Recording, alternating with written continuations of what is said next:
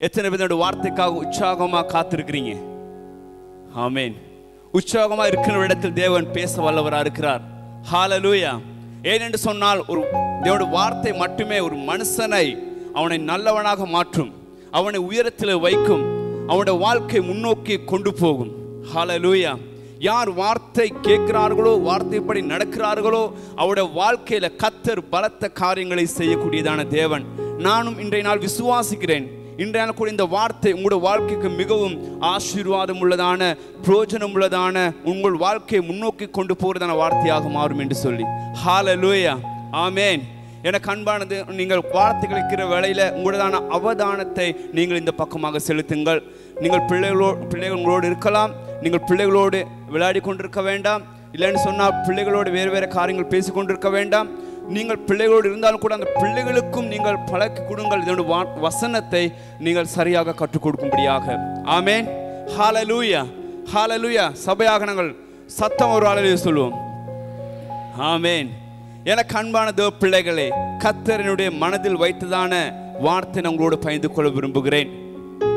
ஏனென்று சொன்னால் இதனுடைய வசனம் என்பது அது ஒவ்வொரு மனிதனுடைய வாழ்க்கையில மிகவும் முக்கியமாக ஒரு காரியம் இருக்கிறது. நானும் கூட உங்கள் மத்தியில் வார்த்தை பகிர்ந்து கொள்வதை குறித்து மிகவும் சந்தோஷம் அடைகின்றேன். ஏனென்று சொல்ல ஒவ்வொரு நாள் ஒவ்வொரு வாரமும் இல்லாட்டி உங்களுடைய ச- தேவ சமூகத்திலிருந்து உங்கள் மத்தியோட வார்த்தை பகிர்ந்து கொள்வதை குறித்து நான் மிகவும் சந்தோஷம் அடைகின்றேன். கத்தர் நல்லவராக இருக்கிறார். Right, நான் க- வசனத்துக்காக நாங்கள் கடந்து செல்வோம். நாங்கள் எடுத்துக்கொள்வோம் மத்தேயு பத்தாவது அதிகாரம் முப்பத்தி எட்டாவது வசனம். மத்தேயு பத்தாவது அதிகாரம் முப்பத்தி எட்டாவது வசனம்.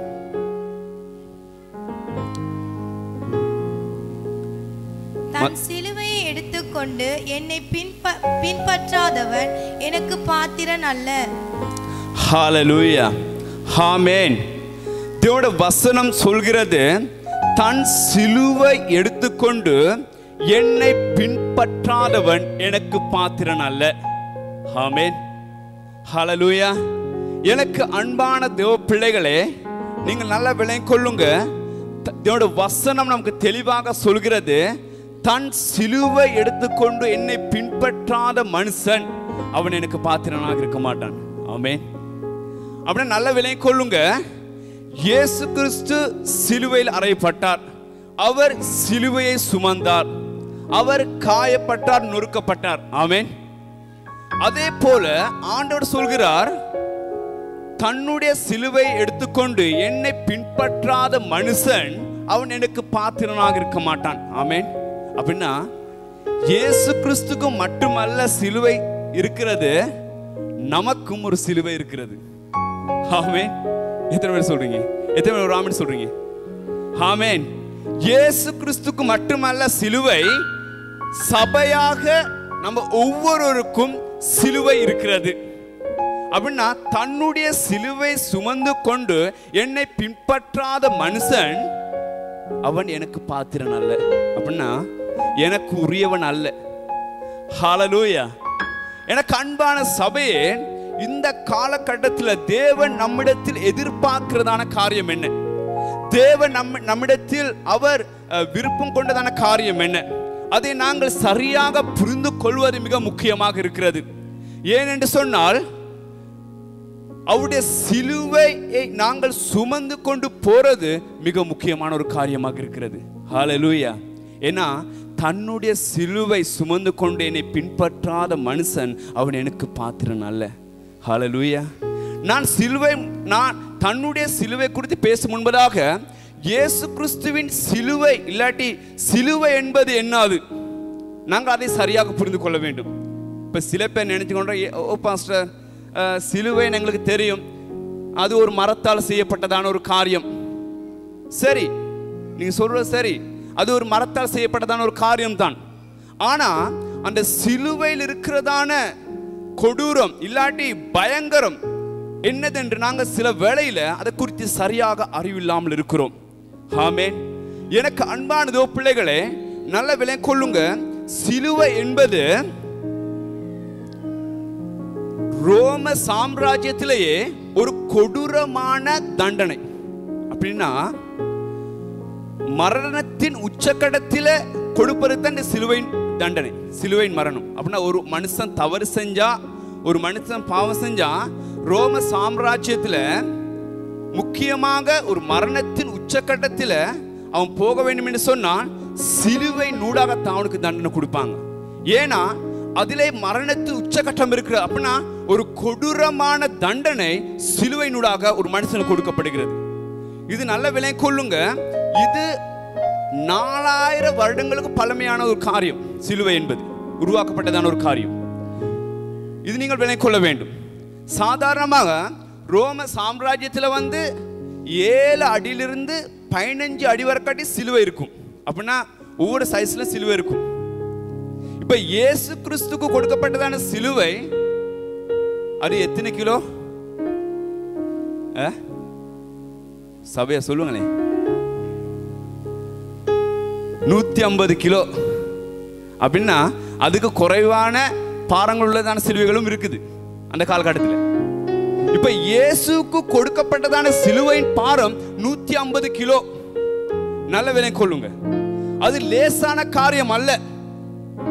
ஏன்னா அது உச்சகட்டம் துன்பத்தின் உச்சகட்டம் ஆனா இயேசு கிறிஸ்து அந்த சிலுவை சுமந்து தான் நம்முடைய பாவத்தை மன்னித்து நம்முடைய பாவத்தை நம்மளை மீட்டு கொண்டார் நம்மளை ரச்சித்து கொண்டார் ஹாலலூயா ஹாமேன் ஹாலலூயா எனக்கு அன்பான தேவ பிள்ளைகளே நாங்கள் விளங்கிக் கொள்ள வேண்டும்.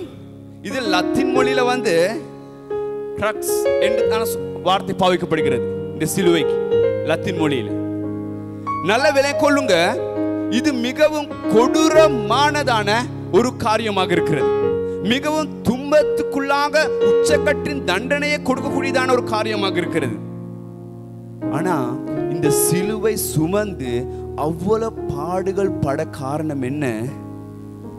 உங்களுக்காகவும் எனக்காகவும் நாங்க செய்த பாவத்தின் நிமித்தமாக அவர் சிலுவை சுமந்து நம்முடைய ரச்சிதா ஹால லூயா உங்கள் மேல என் மேல் வைத்த அன்பின் நிமித்தமாக. எவ்வளவு கொடுமையாக இருந்தாலும் எவ்வளவு துன்பமாக இருந்தாலும் எவ்வளவு வேதனையாக இருந்தாலும் அது எவ்வளவு மரணத்தின் உச்சகட்டமாக இருந்தாலும் ஆனா உங்களையும் என்னையும் மீட்டுக் கொள்ளும்படியாக பாவத்துக்கான மன்னிப்பை கொடுக்கும்படியாக கத்தர் என்ன செய்தார்? அவர் எல்லா வேதனை தனக்கு எடுத்துக்கொண்டு அவர் என்ன அந்த சிலுவையை சுமந்தார். ஆமென். எனக்கு அன்பான தேவ பிள்ளைகளே நாங்கள் இதை விளங்கிக் கொள்ள வேண்டும். இதை நாங்கள் புரிந்து கொள்ள வேண்டும். அதுதான் இயேசு கிறிஸ்து சொல்கிறார் என்னை பின்பற்றுகிற மனுஷன் அப்படின்னா எனக்கு பின்னாக வருகிற மனுஷன் அவன் தன்னுடைய சிலுவை சுமந்து கொண்டு என்னை பின்பற்ற கடவன். அப்படின்னா என்ன? சிலுவை என்பது என்ன? அது ஒரு வேதனை அது ஒரு துன்பம். ஆமேன். நாங்கள் கிறிஸ்துவை பின்பற்றிக்கொள்ளாக இருக்க வேண்டும் என்று சொன்னால் நாங்கள் என்ன செய்யணும் கிறிஸ்துவுக்காக வாழ்க்கை அர்ப்பணிக்கின்றவர்களாக மாறணும். ஹalleluya சில பேர் என்னது? ஞாயிற்றுக்கிழமை மட்டும் வந்து ஏதோ பாட்டு படிக்கிறாங்க நானும் பாட்டு படிக்கிறேன். ஏதோ நமஸ்கரிக்க நானும் நமஸ்கரிச்சுட்டு ஏதோ வார்த்தை சொல்றாங்க நானும் அதை கேட்டுட்டு அப்படியே வந்த விதத்திலே அப்படியே நான் வீட்டுக்கு போயிடுறேன்.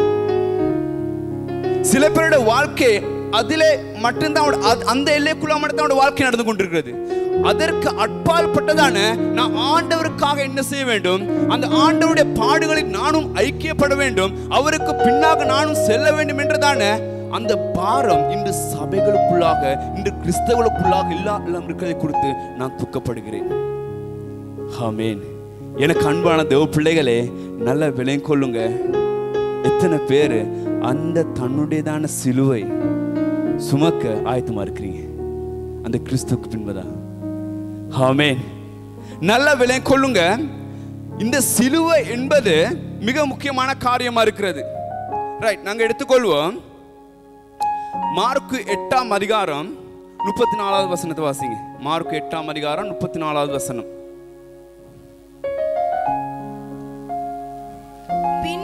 அவர் ஜனங்களையும் தம்முடைய சீசர்களையும் தம்மிடத்தில் அழைத்து ஒருவன் என் பின்னே வர விரும்பினால் அவன் தன்னைத்தான் வெறுத்து தன் சிலுவையை எடுத்துக்கொண்டு என்னை பின்பற்ற கடவன்.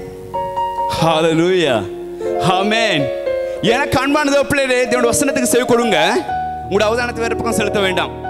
இந்த வசனத்தூடாக நல்ல விலை கொள்ளுங்க தேவன் சொல்லுகிறார் தம்மி சீசர்களை தம்மிடத்தில் அழைத்து ஒருவன் என் பின்னே வர விரும்பினால் அவன் தன்னைத்தான் வெறுத்து தான் சிலுவை எடுத்துக்கொண்டு என்னை பின்பற்ற கடவுள்.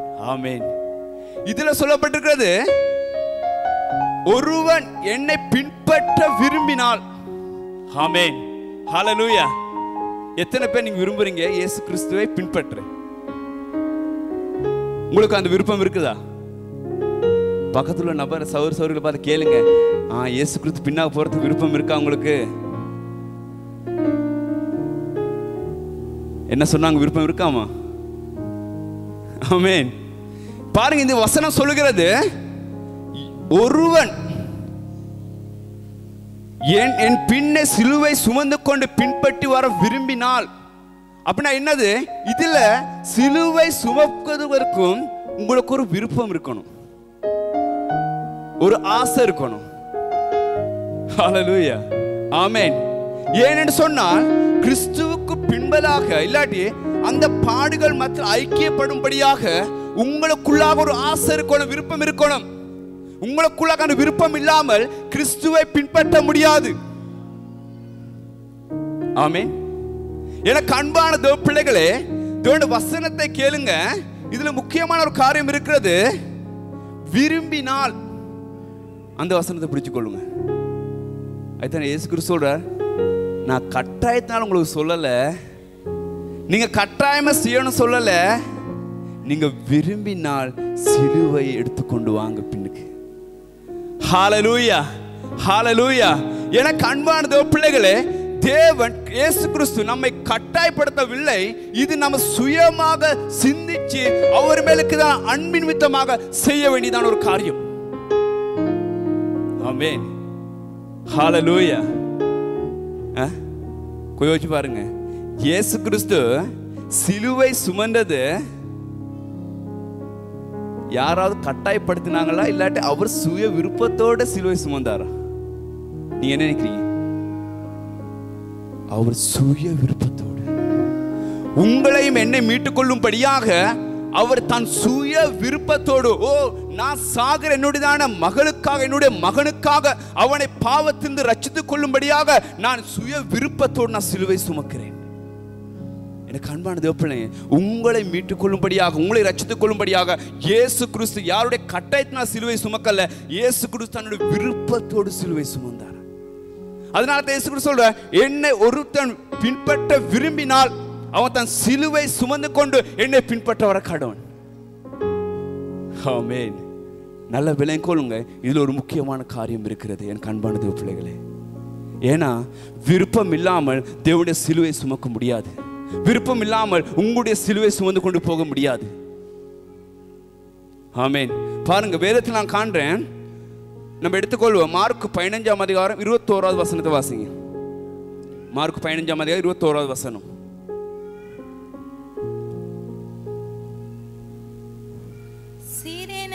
ஊராரும் அலெக்சாந்தரும் அஹ், ரூப்புக்கும் தகப்பனுமாகிய சீமோன் எனப்பட்ட ஒருவன் சீமோன் எனப்பட்ட ஒருவன் நாட்டிலிருந்து நாட்டிலிருந்து அவ்வழியே வருகையில் அவ்வழியே வருகிறேன் அவருடைய சிலுவையை சுமக்கும்படி அவருடைய சிலுவையை சுமக்கும்படிக்கு அவனை வந்தனம் பண்ணினார்கள்?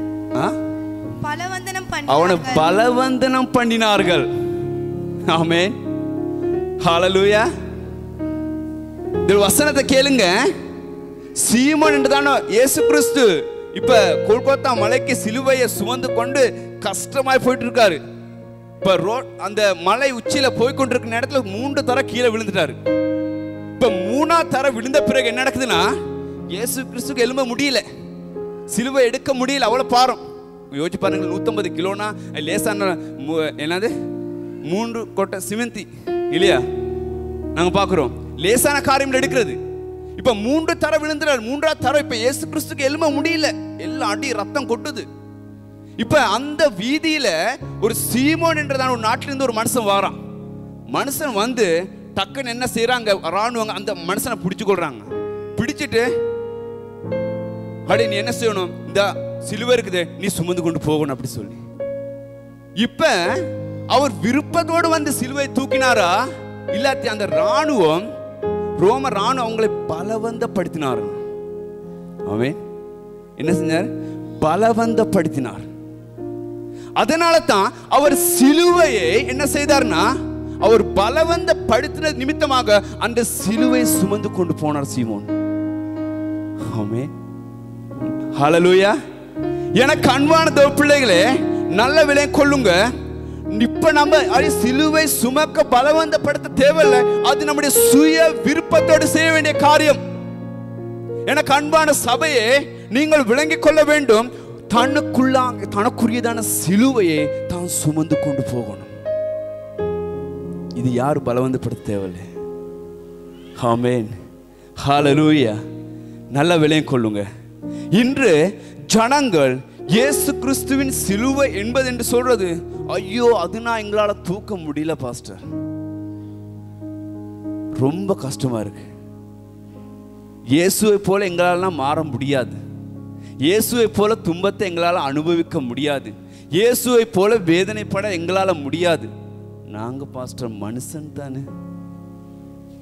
ஆமே நாங்க மனிதர்கள் தானே. ஆமேன். எனக்கு அன்பான தேவ பிள்ளைகளே நாங்கள் இந்த இடத்துல பார்க்கிறோம் அந்த சீமோன் சீமோனை பலவந்த படுத்தினது நிமித்தமாக அவன் சிலுவை கொண்டு போனார். அவன் சுய விருப்பத்தோடு கொண்டு போகல. ஆனா இன்று இயேசு சொல்றார் எனக்கு பின்னே வருகிறவன் தன்னுடைய சிலுவை எடுத்துக்கொண்டு தனக்கு தன் விருப்பத்தோடு என்னை பின்பற்ற கடவன். ஆமேன். ஹாலலூயா ஹாலலூயா எனக்கு அன்பான தேவ பிள்ளையே அன்பான சபையே உங்களுக்கு ஒரு சிலுவை இருக்கிறது. அந்த சிலுவை நீங்க எடுத்துக்கொண்டு நீங்க இயேசு கிறிஸ்துவை பின்பற்றுங்களா மாறணும். ஹாலலூயா அந்த சிலுவை எடுத்துக்கொண்டு நீங்க இயேசு கிறிஸ்துவை பின்பற்ற வேண்டும். அப்படின்னா உங்களுக்குள்ளாக ஒரு துன்பம் கிறிஸ்துவுக்காக நீங்கள் ஒரு துன்பத்தின் பாதையில போக வேண்டும். ஆமென். கிறிஸ்துவின் பாடுகளில் நீங்கள் ஐக்கியப்பட்டவர்களாக இருக்க வேண்டும். கிறிஸ்துவோடு கூட உங்களுடைய வாழ்க்கையை நீங்க சரியான முறையில் அர்ப்பணித்து உங்களுடைய வாழ்க்கை நடத்துகின்றவர்களாக இருக்க வேண்டும். ஆமென். ஹalleluya. எனக்கு அன்பான தேவ பிள்ளைகளே நாங்கள் விளங்கிக் கொள்ள வேண்டும். இந்த சிலுவை நாம் எப்போது எப்போது நாம் சுமக்க வேண்டும் என்று வேதம் சொல்கிறது. ரைட் நம்ம எடுத்துக்கொள்வோம். லூக்கா ஒன்பதாம் அதிகாரம் இருபத்தி மூன்றாவது வசனத்தை வாசிங்க. லூக்கா ஒன்பதாவது அதிகாரம் இருபத்தி மூன்றாவது வசனம். பின்பு அவர் எல்லாரையும் நோக்கி ஒருவன் என் என் பின்னே வர என் விரும்பினான் பின்னே வரம் விரும்பினால் அவன் தன்னைத்தான் வெறுத்து தன்னைத்தான் வெறுத்து தன் சிலுவையை அனுதினமும் எடுத்துக்கொண்டு தன் சிலுவையை அனுதினம் எடுத்துக்கொண்டு என் என்னை பின்பற்ற கடவன். என்னை பின்பற்ற கடவன். ஆமே எப்பெல்லாம் சிலுவை சுமக்கணும்? ஞாயிற்றுக்கிழமை மட்டும். வெள்ளிக்கிழமை மட்டும். அப்படியா? ப- ஜி சுரேஷ் எப்பெல்லாம் சிலுவை சுமக்கணும்? ஞாயிற்றுக்கிழமை மட்டுமா? வெள்ளிக்கிழமை மட்டுமா? அனுதினமும். ஹாமேன் ஹாலலூயா என கண்மான தேவ பிள்ளைகளே இதோட வசனத்தை கேளுங்க. நாங்கள் ஞாயிற்றுக்கிழமை வெள்ளிக்கிழமை மட்டுமல்ல தினம் அவருடைய சிலுவையை சுமந்து கொண்டு செல்கின்றவளா மாறணும். ஏன்னா இன்று இன்று சபை இன்று இதை குறித்தான சரியான அறிவில்லாமல் இருக்கிறது. ஓ நாளைக்கெல்லாம் போயிட்டு நமஸ்கரிச்சுட்டு ஆண்டோருக்காங்க ஏதாவது ஒரு காரியத்தை செஞ்சுட்டு நான் வீட்டுக்கு வந்தா போதும் அதுவே எனக்கு போதும். இல்லாட்டி வெள்ளிக்கிழமை சபைக்கு போயிட்டு ஏதோ ஒரு காரியத்தை நான் செஞ்சுட்டு ஆண்டோருக்காக செஞ்சுட்டு நான் வீட்டுக்கு வந்தா போதும். வேதம் சொல்கிறது அணு தினமும் அவருடைய சிலுவையை நீங்க சுமந்து கொண்டு போகணும். ஹாமேன் எனக்கு அன்பான தேவ பிள்ளையே அன்பான தேவ சபையே நீங்கள் இதை விளங்கிக் கொள்ளுங்க. சத்தியத்தை நீங்கள் புரிந்து கொள்ளுங்க. நாங்கள் அணு தினமும் தேவனுடையதான சிலுவை சுமந்து கொண்டு நாங்கள் போவது மிக முக்கியமாக இருக்கிறது. அணு தினமும் அவருடையதான பாடுகள் மத்தியில் ஐக்கியப்படுவது மிக முக்கியமாக இருக்கிறது.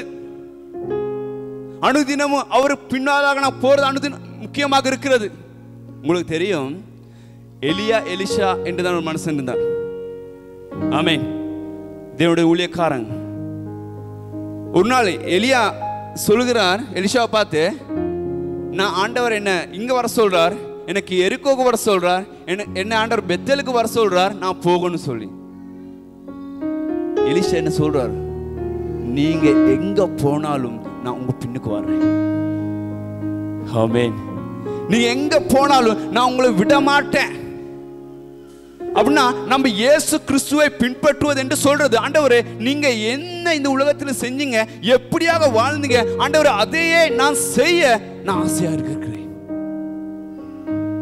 ஆமென் ஹalleluya ஏன்னா இந்த உலகத்தில் இயேசு கிறிஸ்து தேவ ராஜ்யத்தை குறித்து அவருக்கு இருந்த பாரம் என்ன? அவர் தேவ ராஜ்யத்துக்குள்ளாக அவர் கிரியை செய்த விதம் என்ன? அவன் பிதாவின் சித்தத்தின்படி தன்னுடைய வாழ்க்கை நடத்த அவர் எவ்வளவாக பிரயாசப்பட்டார்? நாங்கள் சொல்ல முடியுமா? ஆண்டவரே நீங்க இந்த உலகத்துல நீங்க எந்தெந்த இடங்களா போனீங்களோ எப்படியெல்லாம் தேவராஜ்யத்துக்காக பிரயாசப்பட்டீங்களோ அப்படியெல்லாம் நானும் ஆண்டவர் உண்மை பின்பற்ற விரும்புகிறேன். அப்படி ஒரு வார்த்தை பாவிக்கணும் நமக்கு. ஹாலலூயா ஹாலலூயா ஆமென் எனக்கு அன்பானதோ பிள்ளைகளே நீங்கள் இதை புரிந்து கொள்ளுங்க. சிலுவை என்பது என்ன? அவருடைய பாடுகளில் நாங்கள் ஐக்கியப்படுவது. அவருடைய பாடுகளில் நாங்கள் ஐக்கியப்படுவது. ஹாமேன் இன்று கிறிஸ்தவன் என்ன சொன்னா அவருடைய ஆசீர்வாதத்தை பெற்றுக்கொள்ள விரும்புறாங்க. அவருக்குள்ளாக எல்லா காரியங்களையும் பெற்றுக்கொள்ள விரும்புறாங்க. ஆனா அவருக்காக பாடுகள் பட பாடுகள் மத்தியில் போட அந்த பாதையில் போக இன்று விருப்பம் இல்லை நல்ல விலையும் கொள்ளுங்க. உங்களுக்கு ஒரு சிலுவை இருக்கிறது. அந்த சிலுவையை நீங்க தான் சுமந்து கொண்டு போகணும். இதை நாங்க பார்க்குறோம். வேறத்தில் இயேசு கிறிஸ்து தெளிவாக சொல்கிறார். நாம் எப்படிப்பட்டதான ஒரு சிலுவை சுமந்து கொண்டு போக வேண்டும்? நாங்க எடுத்துக்கொள்வோம். மார்க் எட்டாம் அதிகாரம் முப்பத்தஞ்சாவது வசனத்தை வாசிங்க. மார்க் எட்டாம் அதிகாரம் முப்பத்தஞ்சாவது வசனம்.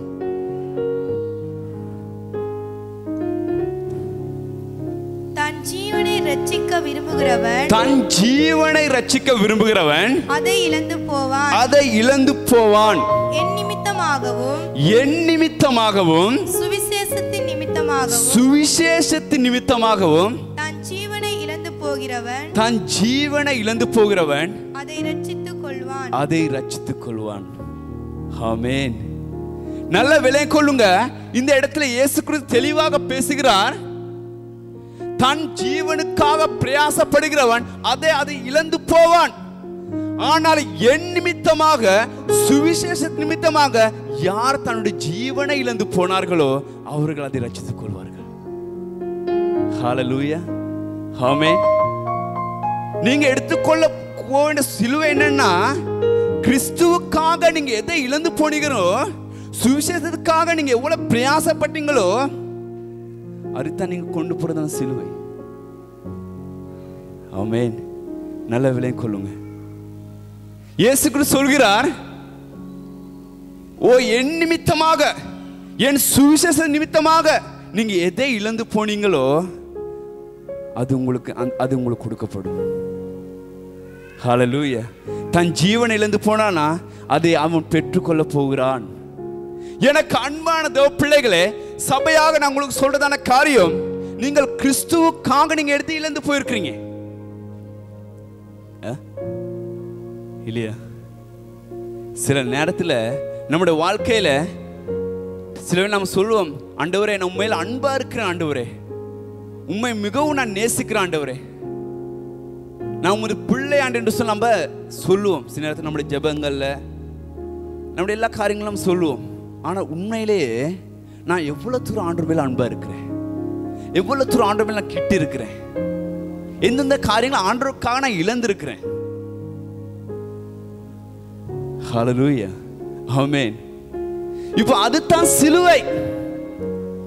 ஏன் கிறிஸ்துவுக்காக நீங்க என்ன இழந்து போனீங்களோ அதுதான் நீங்க எடுத்துக்கொண்டு போற சிலுவை. ஹாலலூயா எத்தனை பேர் ராமின் சொல்றீங்க? சபையாக ஒரு ராமின் சொல்லுங்க. எத்தனை பேர் சத்தியம் உங்களுக்கு விளங்குறது? எனக்கு அன்பான தோ பிள்ளைகளே சத்தியத்தை நீங்கள் புரிந்து கொள்ளுங்கள். ஏனென்று சொன்னால் என் நிமித்தமாக நீங்க கிறிஸ்துவுக்காக நீங்க எதை இழந்து போனீங்க? சுவிசேஷத்துக்காக நீங்க எதை இழந்து போனீங்க? சுவிசேஷ நிமித்தமாக உங்களுடையதான பொருளாதாரமா இருக்கலாம் உங்களுடைய வாகனமா இருக்கலாம் உங்களுடைய குடும்பமா இருக்கலாம் நீங்க எதை இழந்து போயிருக்கிறீங்க? ஆமென். எனக்கு அன்பானதோ பிள்ளைகளே நல்ல பிள்ளைங்க கொள்ளுங்க. இதுதான் நாங்கள் சுமக்க வேண்டிய சூழ்நிலை. அவர் நிமித்தமாக அவருடைய சுவிசேஷத்தின் நிமித்தமாக நீங்கள் உங்களுடைய ஜீவனிலிருந்து போயிருக்கீங்களா அதை நீங்கள் பெற்றுக்கொள்ள போறீங்க. லூயா ஹாமேன் இதோட வசனத்தை பாருங்க. உங்களை அது மறுபடியும் வாசிங்க. தான் ஜீவனை ரட்சிக்க விரும்புகிறவன். அதை இழந்து போவான். அதை இழந்து போவான். என் நிமித்தமாகவும் என் நிமித்தமாகவும் சுவிசேஷத்தின் சுவிசேஷத்தின் நிமித்தமாகவும் தன் ஜீவனை இழந்து போகிறவன். தன் ஜீவனை இழந்து போகிறவன். அதை ரட்சித்துக் கொள்வான். அதை ரட்சித்துக் கொள்வான். தன் ஜீவனை ரட்சிக்க எனக்கு அன்பானது பிள்ளைகளே உங்களை ரட்சிக்க நீங்க எவ்வளவு தூரம் பிரயாசப்படுறீங்க? இரவும் பகலும் பார்க்காம உழைக்கிறீங்க. ஆமே ஜபிக்க டைம் இல்ல. சுவிசேஷம் அறிவிக்க டைம் இல்ல. ஆண்டோக்குள்ளாக தேவோட வசனத்தை தியானிக்க டைம் இல்ல. ஆண்டோக்குள்ளாக ஏதாவது சேர்த்துக்கு டைம் இல்ல. ஏன்? உங்களை ரச்சித்துக் கொள்ளும்படியாக உங்களுடைய வாழ்க்கையை பாதுகாத்துக் கொள்ளும்படியாக நீங்க ஓடிக்கொண்டிருக்கிறீங்க. உங்களுடைய வாழ்க்கையை பாதுகாத்துக் கொள்ளும்படியா நீங்க ஓடிக்கொண்டிருக்கீங்க ஆமென். நல்ல விலையும் கொள்ளுங்க. என் நிமித்தமாகவும் என் சுவிசேஷமாகவும் தன் ஜீவனை இழந்து போகிறவன் அதை பெற்றுக்கொள்வான்.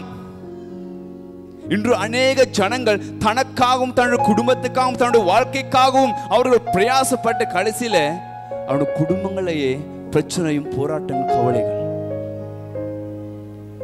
சில பேர் என் குடும்பம் ஆசீர்வாதமாக இருக்கணும். என் குடும்பம் நான் உயர்ந்த இடத்துல போகணும். என் வியாபாரத்தில் நான் உயர்ந்த இடத்துக்கு போகணும் என்று சொல்லி பிரயாசப்பட்டவங்க இன்று என்னது? பிரச்சனைகள் மத்தியில் அவங்க வாழ்ந்து கொண்டிருக்கிறாங்க.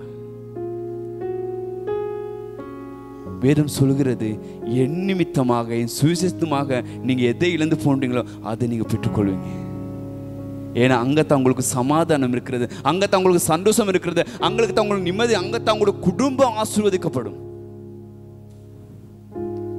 லூயா உங்களோட குடும்பம் ஆசீர்வதிக்கப்படும் வேண்டும் சொன்னா உங்களோட குடும்பம் முன்பதாக கொண்டு போக வேண்டும் சொன்னா நீங்க வேறு காரியங்களை செய்ய தேவையில்லை. நீங்க நீங்க உள்ளே அது பிரச்சனை இல்லை. நீங்க வியாபாரம் செய்யுங்க அது பிரச்சனை அதெல்லாம் வேணும். ஆனா அதை விட தேவனுடைய மனதுக்கு விருப்பத்துக்கு செய்ய கொடுங்க. சுவிசேஷ நிமித்தமாக உங்களோட நீங்க எவ்வளவு காலத்தை நேரத்தை கொடுக்குறீங்களோ அவ்வளவு தூரம் உங்களோட வாழ்க்கை நீங்கள் உங்களோட குடும்பத்தை ரச்சித்துக் கொள்வீங்க. ஹalleluya. ஆமேன். ஆமேன். எனக்கு அன்பான தேவ பிள்ளைகளே நீங்கள் விளங்கிக் கொள்ளுங்க. பாருங்க இதுதான் பவுளுடைய வாழ்க்கையில் நாங்கள் காண்கிறோம் பவுளுடைய வாழ்க்கையில் அது உண்மையில் அவருடைய வாழ்க்கையை நாங்கள் பார்க்குற வேளையில் ஒரு வித்தியாசமான வாழ்க்கையாக இருக்கிறது. நாம் எடுத்துக்கொள்ளும் அப்போஸ்தலர் ஒன்பதாம் அதிகாரம் பதினைஞ்சாவது வசனிலிருந்து பதினாறாவது வசனம் வரை வாசிங்க. அப்போஸ்தலர் ஒன்பதாம் அதிகாரம் பதினைஞ்சாவது வசனிலிருந்து பதினாறாவது வசனம் வரை. அதற்கு கத்தர் நீ போ. அவன் புறஜாதிகளுக்கும் ராஜாக்களுக்கும் இஸ்ரவேல் புத்திரருக்கும் என்னுடைய நாமத்தை அறிவிக்கத்தக்கதாக நான் தெரிந்து கொண்ட பாத்திரம் பாத்திரமாயிருக்கிறான். அவன் என்னுடைய நாமத்தின் எவ்வளவு பாடுபட வேண்டும் என்பதை நான் அவனுக்கு காண்பிப்பேன் என்றார். ஆமேன். ஹalleluya. பாருங்க ஆண்டவர் பவுலை ச- அவர் பவுலாக வரணும்னு சவுலாக இருந்தவர். ஏன்? கிறிஸ்தவ சபைகளை துன்பப்படுத்தினா ஒரு மனுஷன். கிறிஸ்தவர்களுக்கு விரோதமாக எலும்பி அவங்களை கொலை செய்த மனுஷன் அவர்களை சிறையில் கொண்டு போன மனுஷன். நாங்கள் பார்க்கும் அப்படிப்பட்ட மனுஷனை இயேசு கிறிஸ்து என்ன செய்கிறார்னா அவரை தெரிவு கொண்டு அவரை தெரிவு செய்து என் நாமத்தின் நிமித்தம் அவன் எவ்வளவு பாடுகள் பட வேண்டும் என்று நான் அவனுக்கு காட்டுவேன். ஆமென்.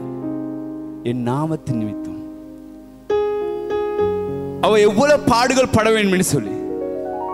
ஏன்னா பவுல் அவனோடு நன்றாக படித்தவர். ரோம பிரச்சாருமை உடையவர். அவருக்கு எல்லாம் இருந்தது. ஆனா கிறிஸ்து சொன்னார் அவரை நாமத்து நிமித்த எவ்வளவு பாடுகள் பட வேண்டும் என்று நான் அவனுக்கு அறிவிப்பேன். அவனுக்கு ஒரு சிலுவை இருக்கிறது. அந்த பாதையில் அவன் அதை சுமந்து கொண்டு போக வேண்டும். அதற்காக நான் அவனை தெரிவு செய்திருக்கிறேன். அப்படின்னா உங்களையும் ஆண்டவர் தெரிவு செய்தது அந்த பாடுகளில் அந்த சிலுவை சுமந்து கொண்டு போகும்படியா? ஹாலலூயா ஹாலலூயா எனக்கு அன்பான தேவ பிள்ளைகளே நாங்கள் பார்க்கிறோம் பவுல் தேவனுடைய ராஜ்யத்துக்காக அவர் எல்லாவற்றை இழந்ததை நாங்கள் பார்க்கிறோம். ஆமே அவர் எல்லாவற்றை இழந்தார். அவருடைய படிப்பு அவருடைய பதவி அவருடைய சொத்து சுகங்கள் ரோம பிரஜா உரிமை எல்லாமே அவர் இழந்து போனார். எதற்காகனா கிறிஸ்துவுக்காக. அவர் தேவ ராஜ்யத்துக்காக. அவருடைய பாடுகளில் ஐக்கியப்படும்படியாக. நாங்கள் பார்க்கிறோம் இந்த இடத்துல பிலிப்பேர் மூன்றாம் அதிகாரம் ஏழு எட்டு வாசிங்க. பிலிப்பேர் மூன்றாம் அதிகாரம் ஏழு எட்டாவது வசனம்.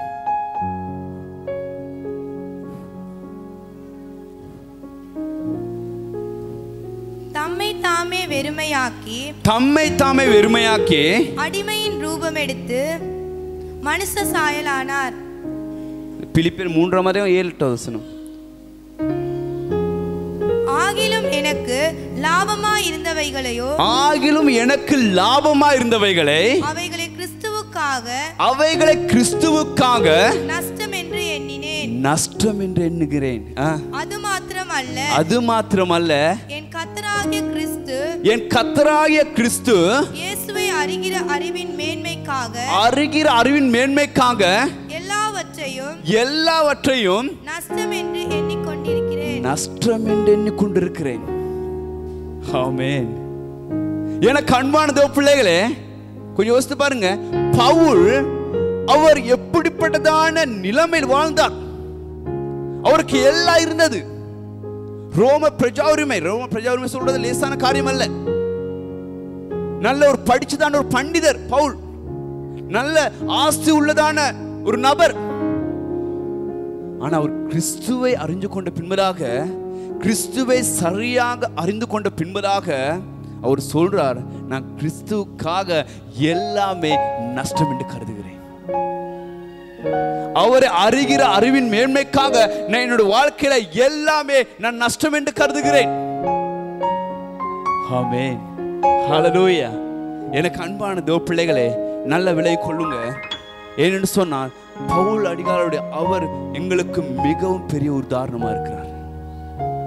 அப்படின்னா இன்று நாங்கள் எதற்காக பிரயாசப்படுறோம்? எதற்காக நாங்கள் ஓடிக்கொண்டிருக்கிறோம்? நம்முடைய வாழ்க்கை பாதுகாத்துக் கொள்ளும்படியாகவா? நம்முடைய குடும்பத்தை பாதுகாத்துக் கொள்ளும்படியாக நான் என்னுடைய வா- என்னுடையதான தொழில நான் நல்ல இடத்துக்கு போக வேண்டும் என்றபடியாகவா? நான் ஒரு நல்லதான அந்தஸ்து உள்ளதான ஒரு மனுஷனாக வாழ வேண்டும் என்றுதான் நோக்கத்தோடையா? இல்லாட்டி இது எல்லாம் நான் கிறிஸ்துவுக்காக நஷ்டம் என்று கருதுகிறேன். என்று சொல்ல அந்த நோக்கத்துக்காக ஆமேன். அது நான் நான் சொல்லலை.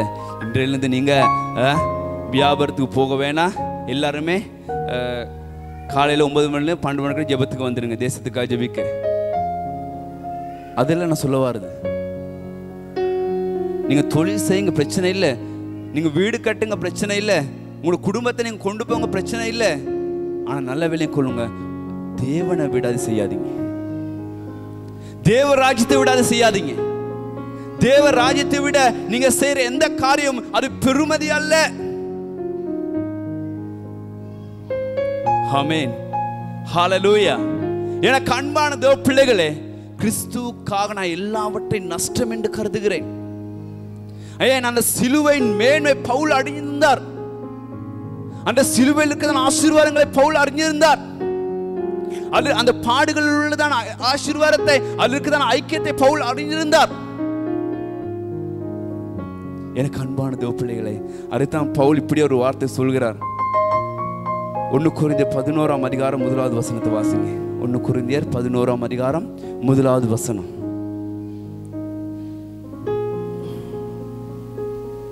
நான் கிறிஸ்துவை பின்பற்றுகிறது போல நீங்கள் என்னை பின்பற்றுவர்களாயிருங்கள். ஹalleluya. ஹாமேன் பாருங்க பவுல் மட்டும் அந்த அப்படி ஒரு வார்த்தை பாவிச்சார். வேதத்தில் பவுல் பவுல் மட்டும் அப்படி ஒரு வார்த்தை பா நான் கிறிஸ்துவை பின்பற்றுவது போல நீங்கள் என்னை பின்பற்றுங்கள். பவுல் சொல்லல நான் கிறிஸ்துவை பின்பற்ற நீங்க எல்லாரும் கிறிஸ்துவை பின்பற்றுங்க. அப்படி சொல்லல பவுல். பவுல் என்ன சொல்றார்? நான் கிறிஸ்துவை பின்பற்றுவது போல நீங்க எல்லாமே என்னை பின்பற்றுங்கள். அப்படின்னா என்ன? நானும் என்னது? கிறிஸ்துவை போல நானும் வாழ்ந்திருக்கிறேன். ஆமே நானும் என்னது? கிறிஸ்துவை போல நானும் பாடுகள் அனுபவிச்சிருக்கிறேன். அதனால தான் பவுல் தைரியமா சொல்றார் எந்த ஒரு சந்தேகமும் இல்லை அதுல நான் கிறிஸ்துவை பின்பற்று போல நீங்க எல்லாருமே பின்பற்றுங்க. ஹாலலூயா ஹாலலூயா எனக்கு அன்பான தோ பிள்ளைகளே அப்படி ஒரு வார்த்தை பாவி பாவிக்க அவர் எவ்வளவு கிறிஸ்துவுக்குள்ளாக இருந்தார். எவ்வளவு பாடுகள் மத்தியில கிறிஸ்துவுக்காக எவ்வளவு காரியங்களை இல்லாமல் போனது அவருடைய வாழ்க்கையில? நஷ்டம் என்று கருதினார். இன்று நம்முடைய வாழ்க்கையில எது நம் கிறிஸ்துக்கா நஷ்டம் என்று கருதி கொண்டிருக்கிறோம்?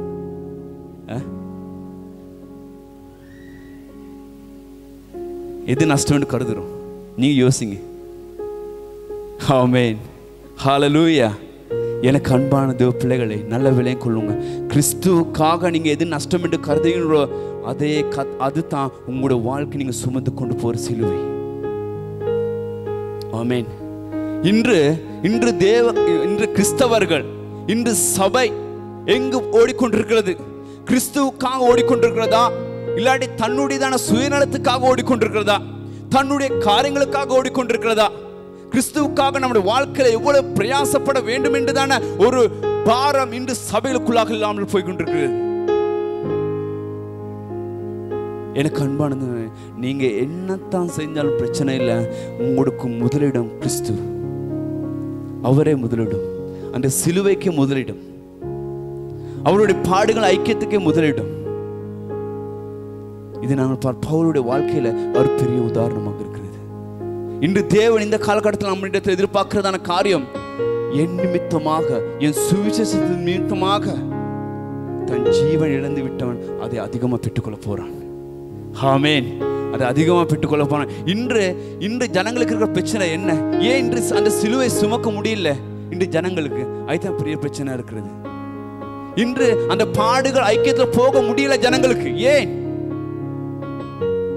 வேதம் நமக்கு சொல்கிறது மார்க்கு பத்தாம் அதிகாரம் இருபத்தோராவது வசனத்தை வாசிங்க. மார்க்கு பத்தாம் அதிகாரம் இருபத்தோராவது வசனம்.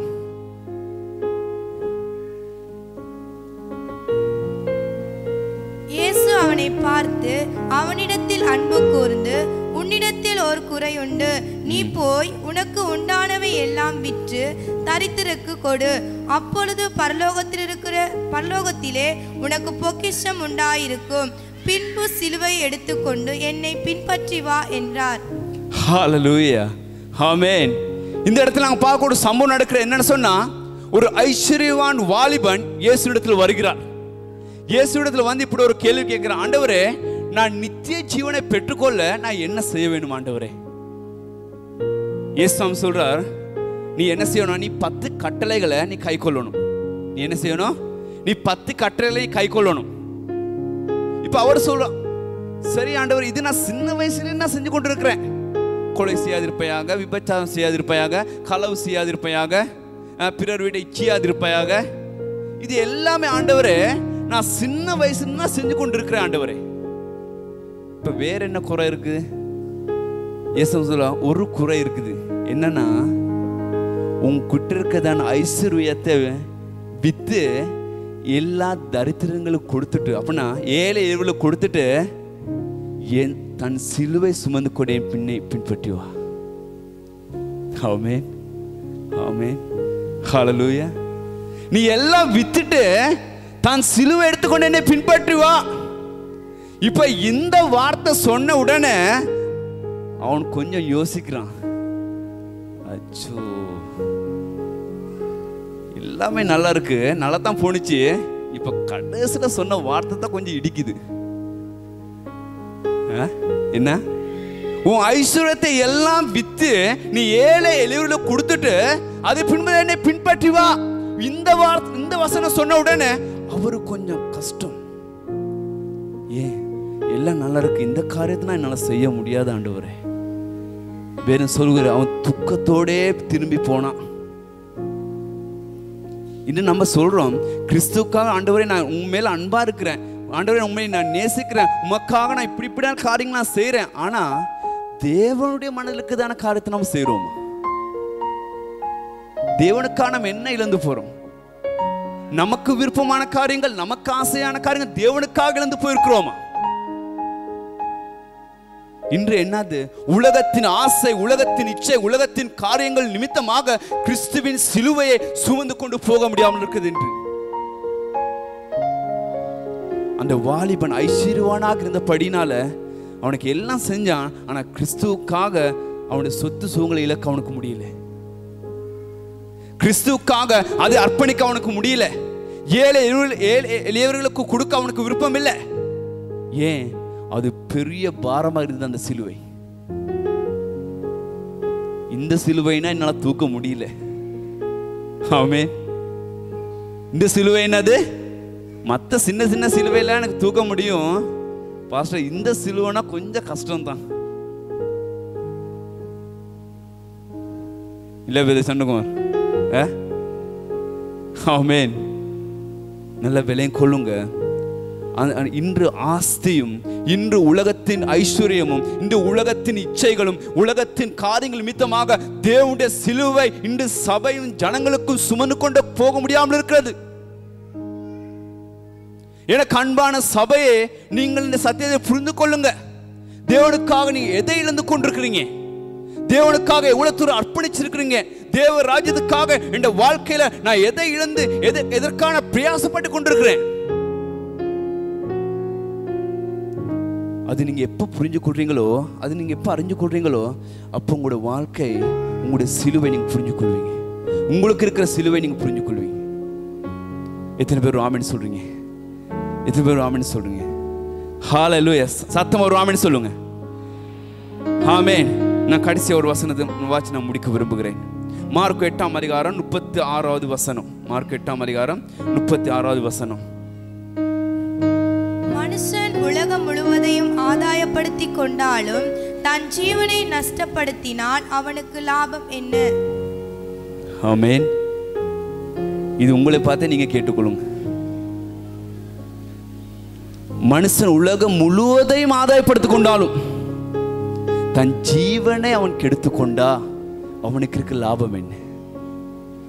ஏன்னா நீங்க இந்த உலகத்துல சேர்க்கிறது நீங்க உலகத்துல செய்யறதான எல்லா காரியங்களும் என்னது? ஒரு நாள் அழிஞ்சு போயிடும்.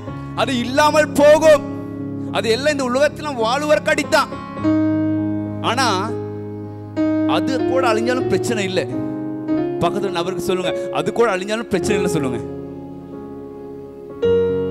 மறுபடியும் சொல்லுங்க. உங்க ஜீவனை அழிச்சிடாதீங்க. ஜீவனை அழிக்கிறதுக்கு இடம் கொடுத்துடாதீங்க. மனுஷ உலகம் முழுவதையும் ஆதாயப்படுத்திக் கொண்டாலும் அவனுக்கு லாபம் என்ன?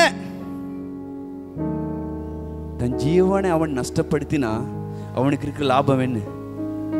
தன் ஜீவனை அவன் இல்லாமல் போயிருச்சுன்னா அவனுக்கு இருக்க லாபம் என்ன? நீங்க முந்தின நேரத்தை நீங்க நியூஸ்ல கூட பார்த்துருப்பீங்க. கொல் கொழும்புல கொல்லுப்பட்டியில ஒரு பஸ் வந்து ஒரு மரம் விழுந்து அஞ்சு பேர் அங்கேயே சரி. ஆமே. முந்தின நேரத்து என்னது தோரையில ஒருத்தன் முட்டிப்படி செத்தான். கேண்டர்ல மனுஷனுக்கு மரணம் சொல்றது எப்போ வரும்னு நமக்கு தெரியாது. ஆமே. மரணம் சொல்றது எப்போ வரும்னு நமக்கு தெரியாது. இந்த உலகத்துல மனுஷன் வாழ்வுகிறது அவனுக்கு எல்லாம் ஆசீர்வாதம் எல்லா காரியங்களும். நல்ல விலையும் கொள்ளுங்க. இந்த உலகத்துல மறிக்கிறது கூட பிரச்சனை இல்லை. நீங்க மறிக்கிறது கூட பிரச்சனை இல்லை. ஆமேன். ஏன்னா நமக்கு ஒரு எதிர்பார்ப்பு இருக்கும். நாம் மறிச்சாலும் எனக்கு ஒரு நித்திய ஜீவன் இருக்கிறது. ஹாலலோயா எனக்கு ஒரு நித்திய ஜீவன். அதற்காகத்தான் நாங்கள் இந்த உலகத்தில் பிரயாசப்படணும் ஒழிய எனக்கு அன்பான் இந்த உலகத்தின் ஆதாயத்துக்காக அல்ல. அது உங்களுக்கு லாபத்தை தராது. அது உங்களுக்கு திருப்தியை தராது. நீங்கள் கிறிஸ்துக்காக நீங்க எடுத்துக்கொண்டு போற சிலுவை மட்டும்தான். அது அதுதான் எங்களை உங்களுடைய ஜீவனை ரட்சிக்கும். உங்களுடைய ஜீவனை பரலோகத்துக்கு கொண்டு போகும். கிறிஸ்துவுக்காக நீங்க எவ்வளவு பிரயாசப்பட்டீங்க? கிறிஸ்துக்காக உங்களுடைய வாழ்க்கை எது இழந்து போனீங்க? அது உங்களுடைய வாழ்க்கை பரலோகத்துக்கு கொண்டு போகும். அதற்காக பிரயாசப்படுங்க. அதுக்காக உங்களுடைய வாழ்க்கையை ஒப்பு கொடுங்க அதுக்காக உங்களுடைய வாழ்க்கையை நடத்துங்க. அதுக்காக நேரத்தை காலத்தை கொடுங்க. அதுக்காக உங்களுடையதான ஆசையை செலவு செய்யுங்க. அதுக்காக உங்களுடைய பலத்தை செலவு செய்யுங்க. எனக்கு அன்பான தேவ பிள்ளைகளே எத்தனை பேர் சத்தியத்தை அறிஞ்சு கொள்ளுங்க ஹாலலூயா இதை புரிஞ்சு கொள்ளுங்க என்னன்னு சொன்னால் கிறிஸ்துவின் தன் சிலுவை சுமந்து கொண்டு கிறிஸ்துவை பின்பற்றாதவன் எனக்கு பாத்திரன் அல்ல. அவன் எனக்கு பாத்திரன் அல்ல. ஆமேன் ஹால லூயா எத்தனை பேர் சத்தியத்தை விளையும் கொள்ளுங்க அது ஒரு மேன்மை. அது ஒரு மேன்மை. அதுதான் பவுல் சொல்றார் நான் நல்ல ஒரு போராட்டத்தை போராடினேன். என் விசுவாசத்தை நான் காத்துக்கொண்டேன். எனக்கு ஒரு நித்திய கிரீடம் வைக்கப்பட்டிருக்கிறது. எனக்கு ஷுவர் எனக்கு ஒரு நித்திய கிரீடம் இருக்கிறது. எனக்கு அதுதான் நம்முடைய எதிர்பார்ப்பு இருக்கணும். ஹால லூயா நான் சொல்கிறேன் உங்களோட குடும்பத்துக்காக நீங்கள் பிரயாசப்படுங்க பிரச்சனை இல்லை. நீங்கள் எல்லாம் செய்யுங்க பிரச்சனை இல்லை. ஆனாலும் உங்க முதலிடமாக இருக்கணும் தேவ ராஜ்யம் தேவ ராஜ்யம் அதுக்கு பிறகு மற்ற எல்லா காரியங்களும். ஹாமேன் ஏன்னா நீங்கள் உலக காரியங்களுக்காக தேவ இழந்து போயிடாதீங்க. தேவ ராஜ்யத்துக்காக உலக காரியங்கள் இழந்து போன பிரச்சனை இல்லை. உலகத்துக்காக தேவ இழந்து போயிடாதீங்க. அதுதான் உங்களுக்கு சொல்றது. ஆமென் ஹலலுயா கர்த்தர் உங்களை ஆசீர்வதிப்பார். மீண்டும் காலத்தை நான் இப்போதான் போதுக்கு